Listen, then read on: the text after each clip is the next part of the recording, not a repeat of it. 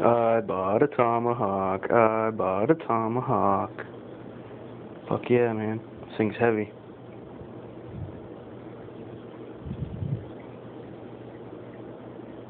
There's a little case it came with.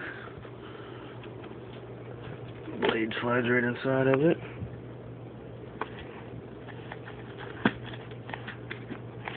Somehow. Got some buttons.